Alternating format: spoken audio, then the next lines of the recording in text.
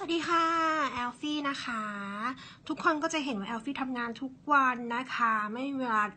ดูแลตัวเองสักเท่าไหร่นะคะ แล้วก็บางทีก็แบบมีปาร์ต้องปาร์ตี้กับเพื่อนนะคะแอลฟี่ทำยังไงก็นี่เลยค่ะแอลมี Phyteney นะคะคอยดูแลหุ่นของแอลนะคะ